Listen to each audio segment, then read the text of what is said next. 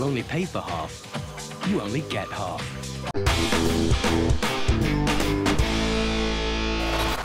Hello, people of Earth. Well, I was perusing the online classifieds around our area that I sometimes do, looking for telescopes and telescope accessories. I came upon this Explorer Scientific 80 millimeter APO for $500.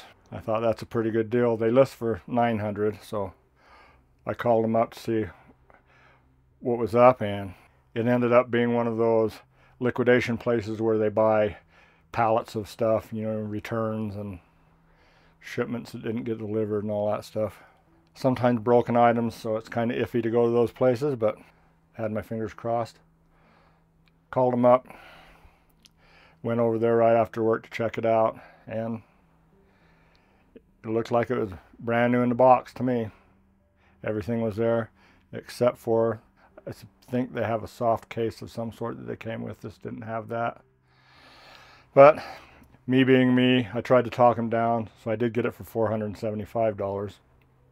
Big whoop. Um, not quite half price. Sorry for the clickbait. I thought it looked good on the thumbnail, so anyway, let's go see what I got. Okay, I guess we'll have to go with a little wide angle here at first. So this is the box that it came in. It was open. It is the Explorer Scientific box. Here we have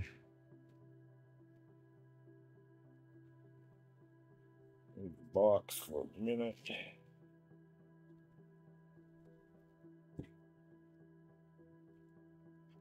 All right.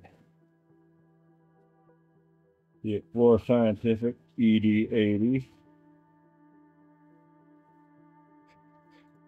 Even had this little thing hooked onto it. So I think it's a brand new scope. Triplet air-spaced apochromatic refractor, 80 millimeter diameter, f6, 480 millimeter focal length, EMD coatings. So ED stands for extra low dispersion glass. This one has FCD1 glass. They do make a model of this with the FCD 100. This is not that, unfortunately. Uh, the FCD1, which this has, is comparable to FPL 51. They're really close. And if you don't know what ED glass is, that stands for extra low dispersion. Um, when light comes through glass, it disperses and then they have to refocus the red, green, and blue back into a point. With low dispersion glass, it doesn't disperse as much, so it doesn't take as much glass to focus the waves into a single point. Finish looks really nice on it.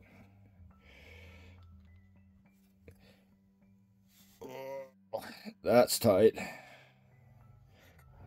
That's good. Yeah. Nice dew shield. Here we have the metal dust cap. Do not look at the sun. Kind of makes me wonder about humanity when they have to put signs like that on. So here is the look at the glass. Looks like we do have some collimation screws in case we're out of collimation, which I hope not.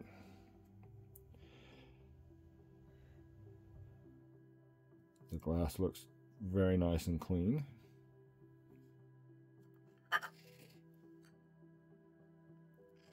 On the back, we have a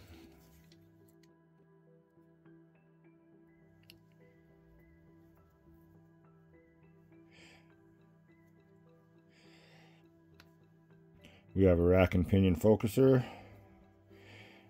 Means we have a gear and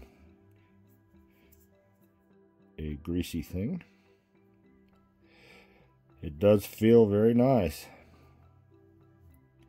Nice and smooth.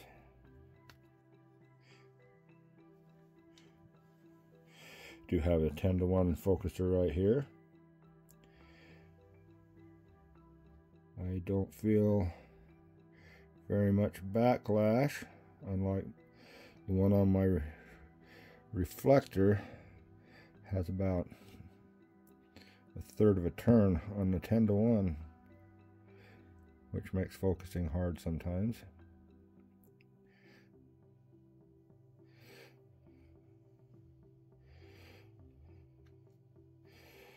This screw right here and there's two adjustment um, hex screws on the sides here to adjust this. I guess that's for rotation. These will adjust the focuser, I guess, to make it stiffer. Kind of like the way it is right now. We have three thumb screws for the compression rings, which holds the eyepiece in, or in my case, the camera. Seem to fit very tight.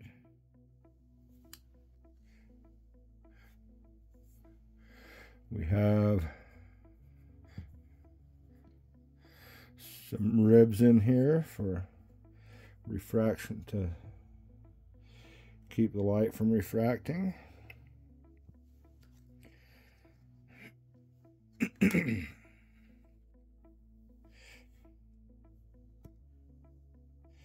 a mount for your guide scope. I guess I'll go back to the little one for a while.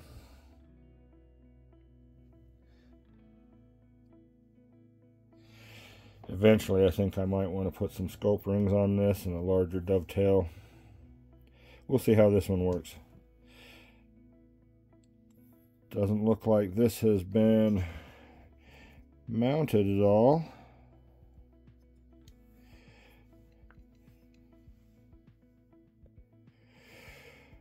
So all in all, I think I got a new scope for pretty good price.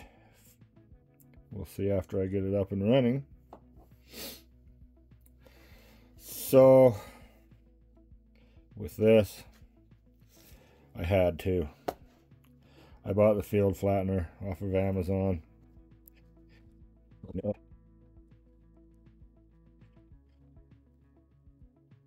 So it's just a 1X field flattener. No focal reducer at all. It is the Explore Scientific for this scope. Fits right into the two and a half inch focuser. It is also ribbed. Nice. Nice metal construction. It came with this end, screws on this way. Um, this unscrews. I think there's an M43, I guess, for that. But I will probably use the other one that came with it. Open it up. And it will be the M48. That will fit my new T-ring that I got for my coma corrector on my reflector. There's glass. And now I have an M48 thread. My T-ring will go right on that. As usual, 55 millimeter back focus, so 11 with the T-ring and 44 with my camera. That should work out great. We have.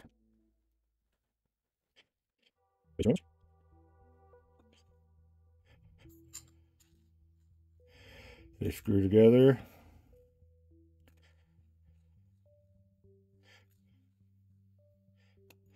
and you unscrew. That, that goes there. We put this back on.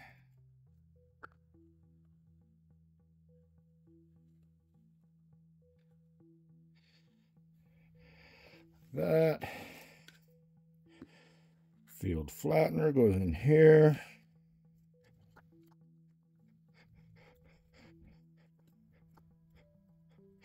And there we have it.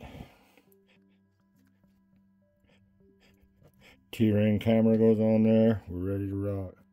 Also, this came with it.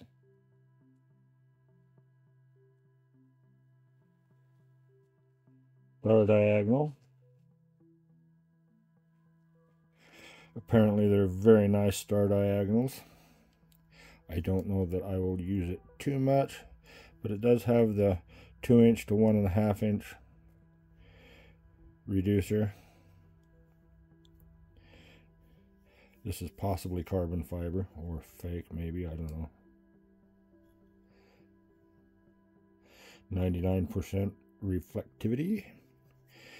All right, we're ready to go.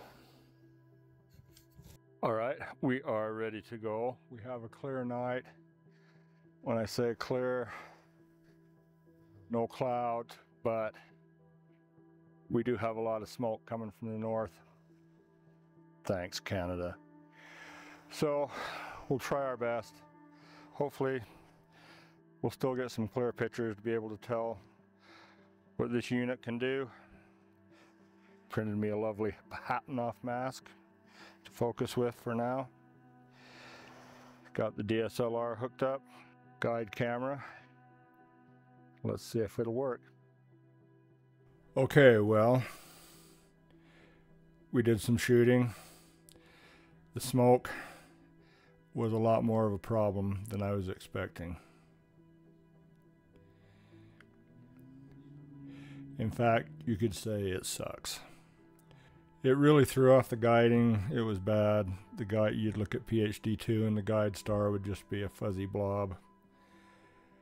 I don't really know if I got well, I know I don't have enough data to really give the telescope a good review at the moment, but we did get some, so we'll take a look at it. So I shot with dual narrowband. This is a few hours of the HA. I think that probably made it dimmer than it should have been too, but oh well. So take a look at the corners. Yeah, my stars are not the greatest. They're egg shaped. Well, like I say, and I have some stacking artifacts also, but I don't really see any bad aberrations like I see on my Newtonian sometimes, just egg-shaped. This corner's a little worse. I don't know, maybe my DSLR has some tilt issues that I don't know about since it's happening on both telescopes but just mostly egg-shaped stars from the poor guiding.